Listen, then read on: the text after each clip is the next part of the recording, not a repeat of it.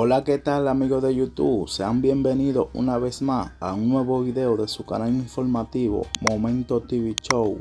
Si eres nuevo te invito a que te suscribas para que te dé cuenta de todo lo que está pasando en el país y el mundo. La Policía Nacional difundió en una reciente noticia, que sus miembros de la Dirección Central de Investigación, DICRIM, le dieron de baja a un reconocido delincuente que estaba siendo activamente buscado por liderar una peligrosa estructura del crimen organizado dedicado al sicariato.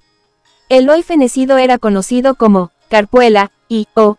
Moreno 30 a 30, un individuo de nacionalidad haitiana, el cual fue abatido en un enfrentamiento con una patrulla del DICRIM en las inmediaciones del peaje de la autopista 6 de noviembre, Herrera, municipio Santo Domingo Oeste, según indicó la comunicación de la uniformada.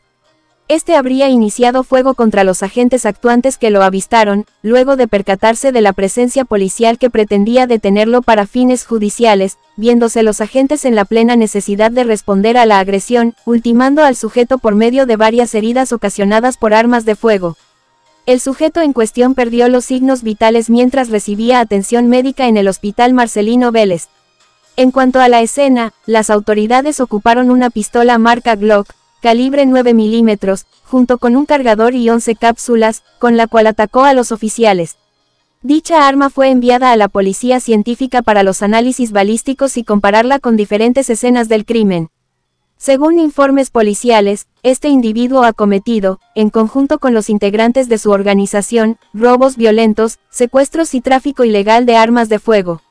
Se le vincula a varios casos de homicidios y heridos de bala en la provincia de La Romana, así como a robos violentos en el residencial Parque Verde y la Torre Nicole X en La Esperilla, Distrito Nacional. Por otro lado, una familia en Cabrera está angustiada por la desaparición de Eric Dante García, reportada por su hermana Primavera. Eric, residente del municipio citado, en la provincia María Trinidad Sánchez, fue visto por última vez cerca de San Francisco de Macorís. Su hermana menciona que él padece de bipolaridad y tiene dificultades para manejar emociones intensas, las cuales se han agravado tras el fallecimiento de su madre. Los familiares de Eric ruegan a la comunidad que, si tienen alguna información sobre su paradero, se comuniquen al 809-481-7154. La preocupación por su seguridad y bienestar es evidente en su entorno familiar.